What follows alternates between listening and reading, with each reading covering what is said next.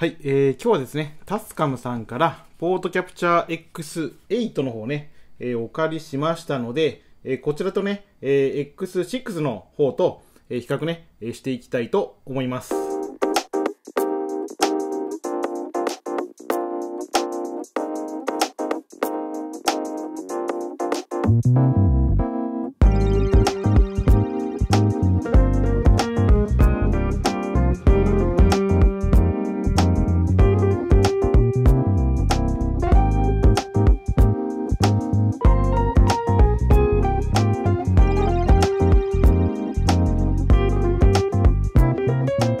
はい、どうも山田明です、えー、今回の動画はですね、えー、冒頭にもね、お伝えした通り、えー、タスカムさんからね、え X8、はい、お借りしましたので、今ね、X6 で音をね、取ってはいるんですけど、まずね、え外貨の違いから順番にね、ご紹介していきたいと思います。はい。で、まずはですね、あの、こちらの、えマイクの部分ですね。はい。で、これがですね、X8 に関しては、え取り外し式になります。はい。で、これね、えー、回して、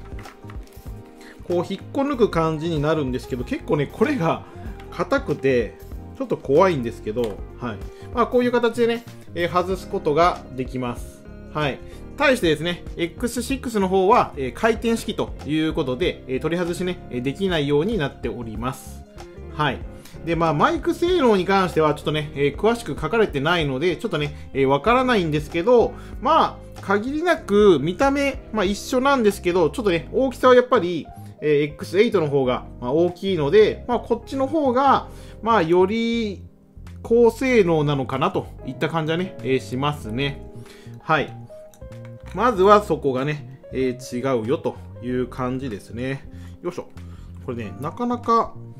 ちょっと取り外しが結構硬いので、まあ、その辺がちょっと難しいところですかね。はい。で、まあ、あの、前面ですね、えー、見ていただきますと、まずね、このね、えー、液晶の画面が大きいということですよね。これはね、大きいだけあって、すごく、あの、見やすいと思います。で、電源も入れるとこんな感じになるんですけど、はい。結構ね、えー、大きくって、まあ、見やすいですよね。そね、メニューの出し方がちょっとね、えっ、ー、と、X6 と違ってて、X6 の場合は、えー、ここにね、えメニューの物理ボタンがあるんですけど、8の方はないです。まあ、ないので、えー、ここのね、右下、はい、右下のところに、まあ、このね、設定ボタンが、えタッチパネルであるよという感じになります。はい、まあ、そこら辺がちょっとね、違いますね。まあ、私はちょっと物理ボタンの方がいいのかなというふうに思いました。はい。でですね、えー、端子の部分になるんですけど、で、X8 の方がコンボジャックということで、え、形ね、ちょっと違いますよね。まあ、こちらがね、え、コンボジャックが X8 に関しては、え、4つね、えー、ついているよということになりますね。はい。で、X6 の方は、え、XLR 端子ということで、えー、キャノン端子と、まあ、呼ばれるものにね、えー、なりますね。6.3ミリだったかな？あの、マイクのね、えー、ピンで刺すような、まあ、大きさのものだとかが、まあ、これね、まあ、刺さる感じにはなるかとは思うんですけど、まあ、この、えー、X6 の方はそれにね、えー、対応してないよということになりますね。はい。まあ、そこがちょっと違うかなというところになりますね。あと、まあ、他のスイッチ類だとか、えー、カードスロット類は、まあ、同じなんですけど、ちょっとね、本体のね、大きさが違うので、ちょっとね、配置も違ってはいますね。はい。で、こっちのね、3種類も、えー、基本的には同じになっております。はい。あとね、背面。背面が、あの、違うところで言うと、ここにね、えー、コールド臭があるといったところで、結構ね、これ、便利だと、まあ、思いますね。ちょっとあの、例えば、えー、真ん中にね、コールドシューで固定をさせて、で両サイドにあの外部マイクをね、まあ、つけるといったね、まあ、やり方だとか、あとは、えー、ワイヤレスマイクね、こちらにね、えー、受信側をつけるということも、まあ、できるんじゃないかなというふうに思います。はい。X6 の方はこちらね、えついてないので、そこら辺のね、え違いがあるよということになります。はい。で、まあ、あの、周波数に関してですね、X6 の方は 96kHz ということに対して、X8 は 192kHz ということになってまして、まあ、かなりね、ここ、あの、差があるかと思います。はい。まあ、これでのね、違いが、ま、どれだけあるのかといったところがね、気になるかと思うんですけど、まあ、よりこう、幅の広い、まあ、音をね、えー、取れるっていうのが X8 になってるんじゃないかなというふうに思いますね。実際ね、皆さんが聞くにあたって、どれだけのね、まあ、差があるのかといったところが、まあ、気になるポイントではあるかとは思うんですけど、ここがね、一番、えー、性能差があるんじゃないかなというふうに思います。はい。ということでね、えー、今からちょっとね、X8 の方にね、えー、切り替えて、まあ、どれだけね、えー、音質が変わるのか、えチェックね、してみたいと思います。はい。えーこちらがですね、X8 の音声になります。いかがでしょうか？はい。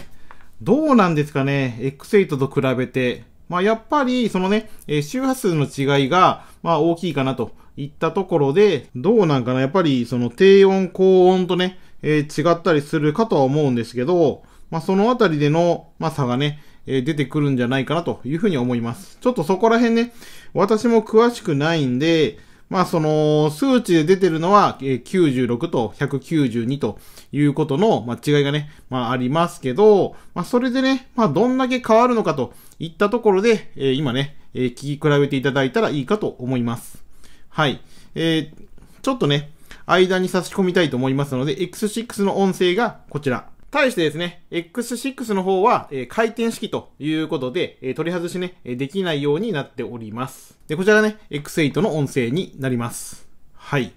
どうなんでしょう？もうちょっとね、聞き比べてないので、なんとも、まあ言えないんですけど、まあちょっとね、まあ私も確認しながら、まあ最終的にね、X8 の方がいいんだったら、X8 の方ね、えー、買いたいなというふうにも思いますし、まあただ、まあやっぱりね、あの、ボディサイズが、まあ、だいぶね、大きいので、まあ、やっぱね、結構ね、重さはあるんですよね。今、えー、この X8 で撮ってますけど、結構大きいし、あの、本体の重さも、まあ、ありますので、まあ、そのあたりね、違いについては、はい、こちらになります。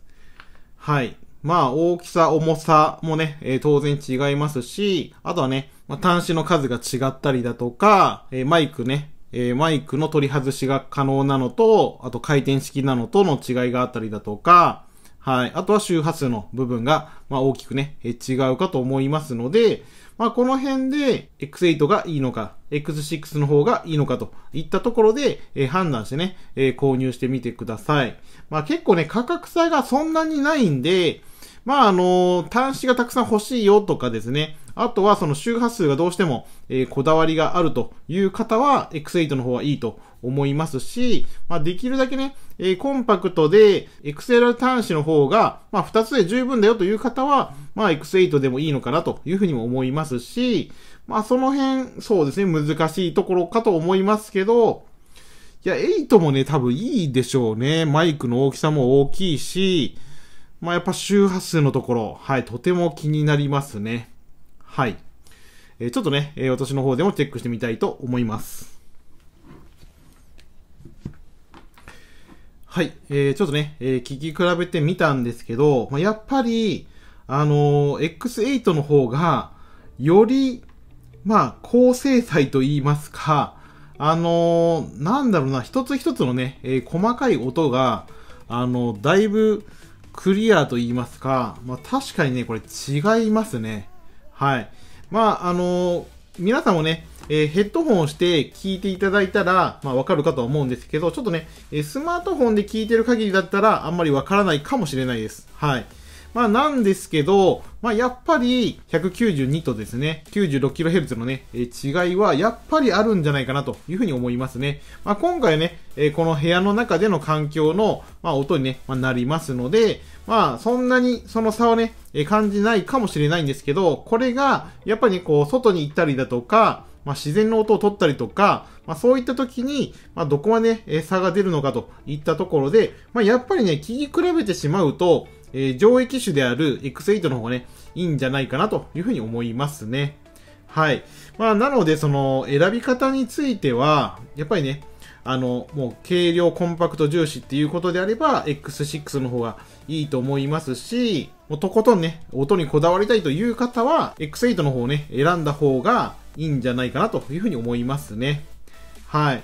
で、あと、まあ、あのー、他のね、えー、マイク、他のマイクをね、接続した時の、まあ、差についてもですね、ちょっとあるかもしれないので、またね、えー、時間があれば、えそのあたりもね、えチェックしてみたいなというふうに思っています。はい。まあ、どちらもね、32ビットフロートにはなりますので、まあ、そこはね、まあ、同じなんですけど、ただその周波数、取れる周波数が違うよといったところになりますし、そこだけね、注意をして、ま、購入の方ね、検討してみてください。はい。ということでね、最後までご視聴ありがとうございました。またね、次回以降の動画もご覧いただけたらなというふうに思います。それでは次の動画でお会いしましょう。さようなら